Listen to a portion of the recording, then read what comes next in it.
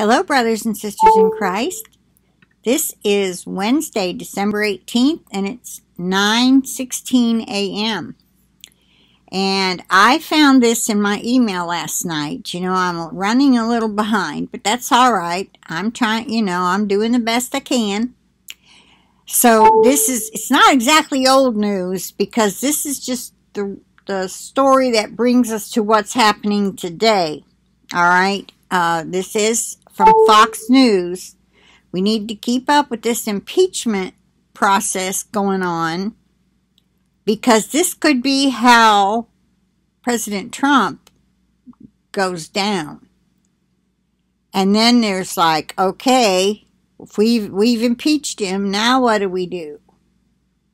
Does Vice President just take over? Apparently, supposed to be, right?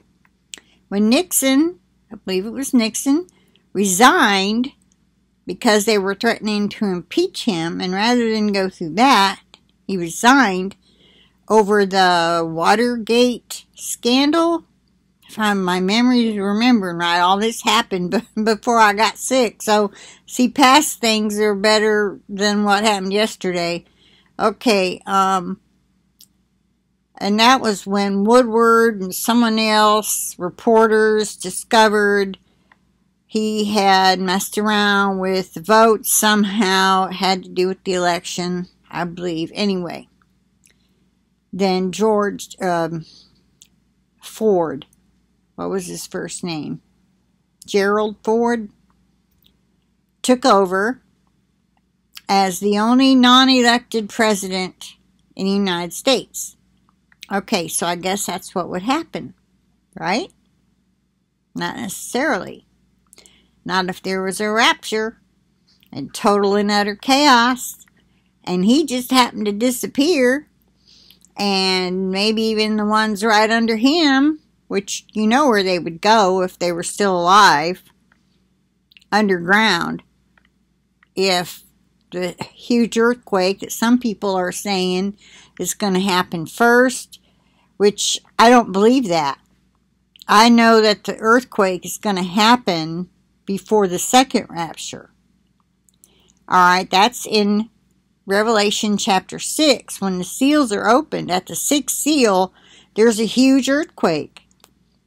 And that's when they go running into their dumbs. Well, the Bible calls it caves and into the earth and underground or however it's worded. And they cry out, Rocks fall on us. Okay, then what happens?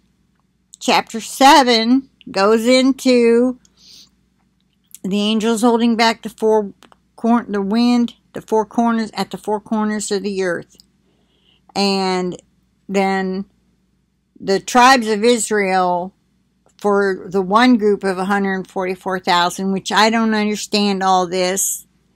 Uh, oh, my computer just darkened a little.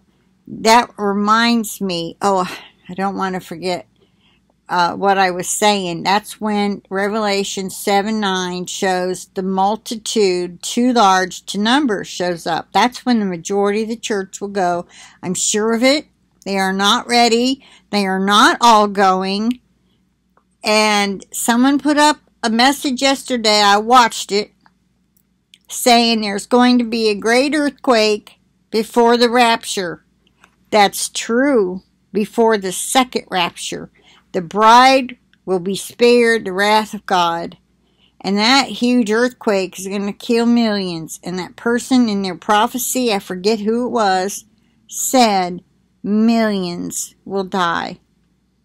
That happens after the first rapture. Has to be. Otherwise, the Bible wouldn't be true.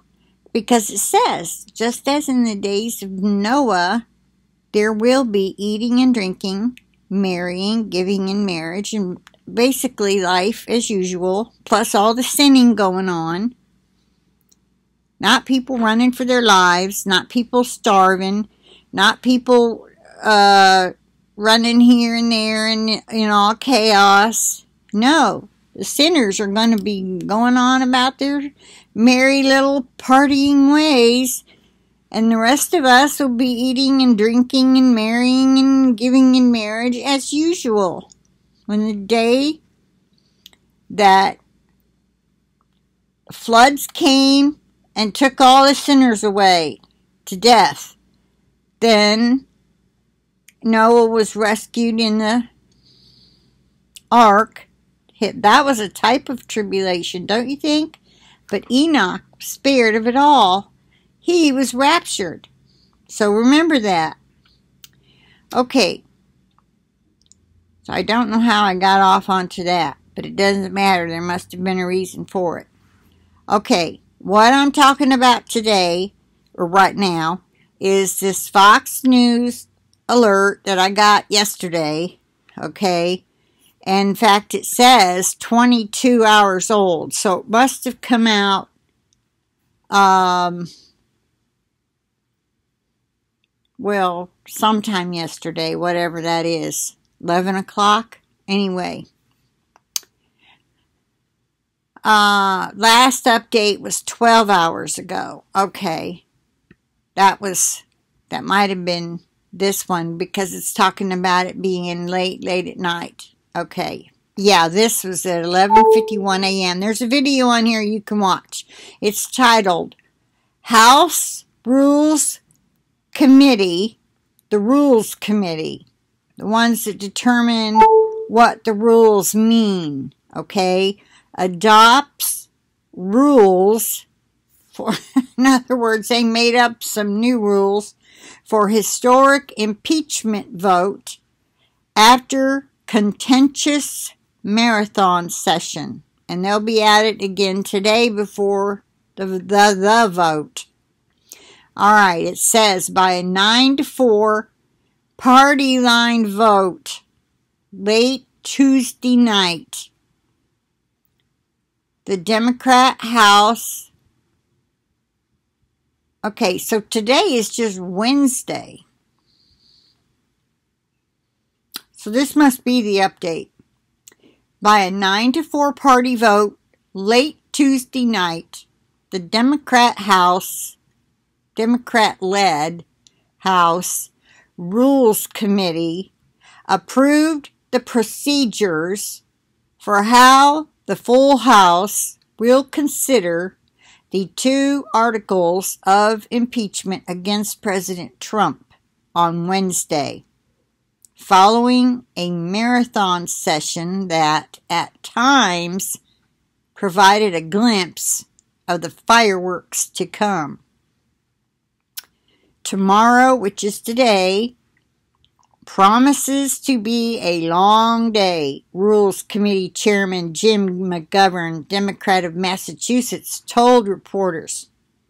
Republicans previewed their likely lines of attack throughout the day Tuesday.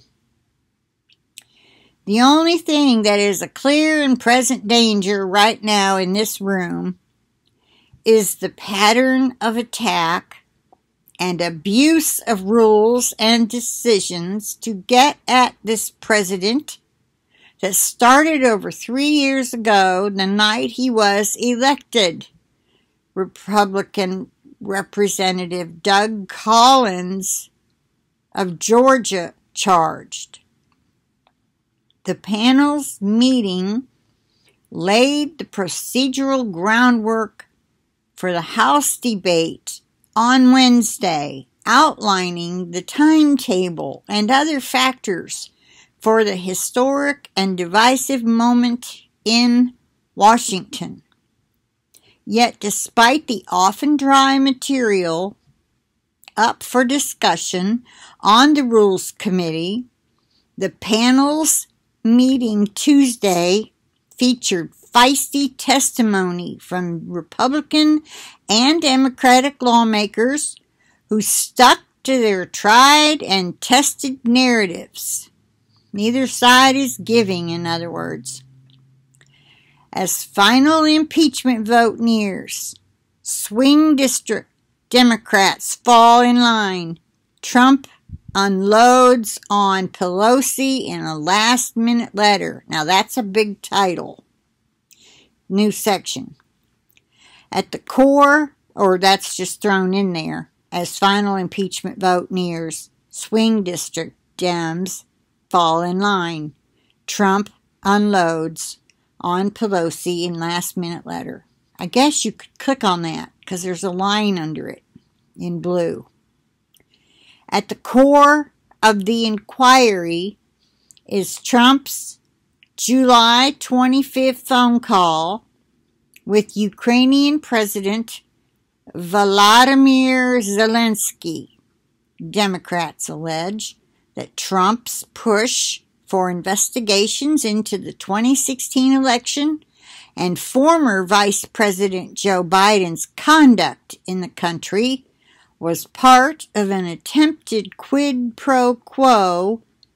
That's, I give you something if you give me something. See, I'll do something for you if you'll do something for me. That's quid pro quo. In exchange for a White House meeting and the unlocking of military aid. Let me read that again. Democrats allege that Trump's push for investigations into the 2016 election and former Vice President Joe Biden's conduct in the country was part of an attempted quid pro quo in exchange for a White House meeting and the unlocking of military aid. Trump denies this. But in the session itself, the battle lines were drawn, with Democrats presenting the impeachment as an obvious and clear cut case of obstruction and corruption. They're just out to get this president no matter what. Supposedly. See, they're all playing their parts. I'm sorry, but that that's what's going on. But still, this this is must be how he's going to go down, as opposed to an assassination. But we don't know. The president withheld. This is a quote. The president withheld congressionally approved military aid to a country under siege to extract a personal political favor. He did not do this as a matter of U.S. policy. He did this for his own benefit. That is wrong, and that is that. And if that is not impeachable conduct, then I don't know what is. Chairman Jim McGovern, Democrat of Massachusetts, said Tuesday. Another quote The president's aggressive and unprecedented resistance to congressional subpoenas for witnesses and documents is blatantly and dangerous, unconstitutional. That's what it says. Subpoenas for witnesses and documents is blatantly and dangerous, unconstitutional. They might have meant dangerously unconstitutional.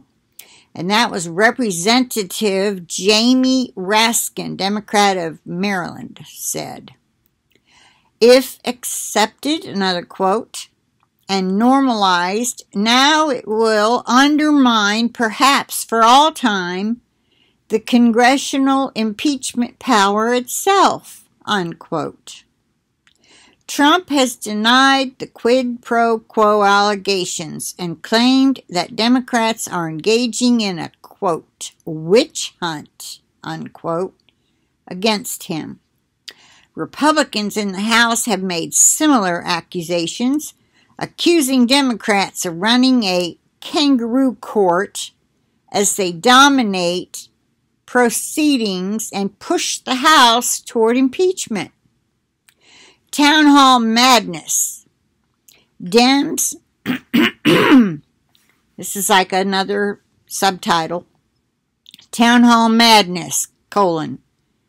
Dems, the Democrats, in swing districts feel voters' wrath for backing impeachment. That's something that looks like you can click on.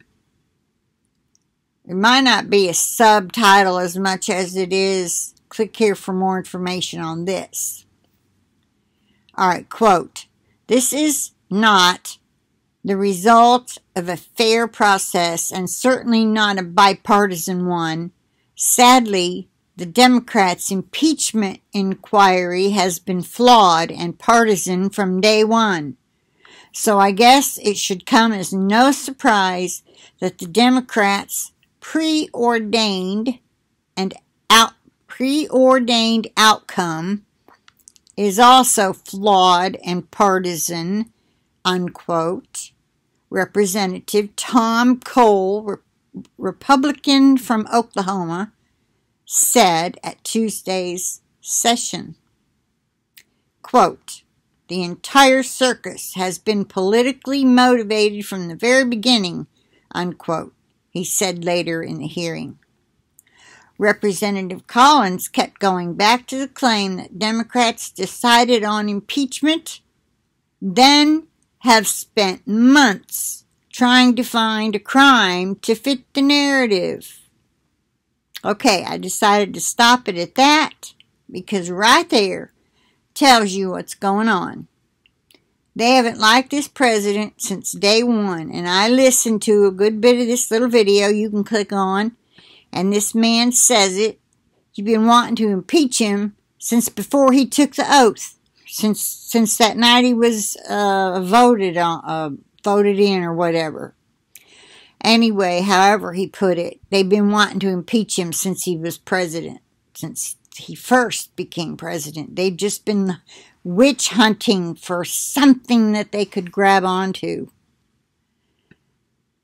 Okay, imagine, I just wonder how our country would be right now if Hillary Clinton had won. I guess it doesn't really matter. God is in control no matter what happens. God is in control. He does put into power who he wants into power, and how things go are going to be his control too. So, this has been a Fox News report put up yesterday at 10:33 a.m., but it's done by Adam Shaw, Chad Pro Adam Shaw and Chad Pergram, P E R G R A M and Gregg Re, R-E is how his last name is spelled, from Fox News. Okay, I'm going to end it here, and uh, I'll try to do a report tonight or as soon as something comes out on what's going on all day today, and we'll see what happens. This might be how they get Trump out. Then again, maybe it's a big distraction. We'll see. All right. I'll talk to you later. Bye for now.